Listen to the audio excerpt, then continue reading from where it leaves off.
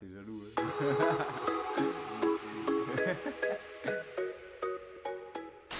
Euh, alors en jeune, c'est euh, la victoire en Coupe Gambardella et en pro, c'est euh, la victoire 3-0 contre Nîmes.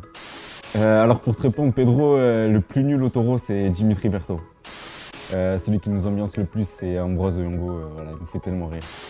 Ma prochaine célébration, je vais faire une grosse glissade sur les genoux et je vais faire un cœur pour ma famille qui est dans les tribunes. Tellement ma ville est belle, moi je chanterai pour elle. Mais c'est qu'elle a de plus beau, c'est le Montpellier héros. Ouais, je suis un grand amoureux de la campagne et je suis allé en ramasser ce week-end beaucoup. hein.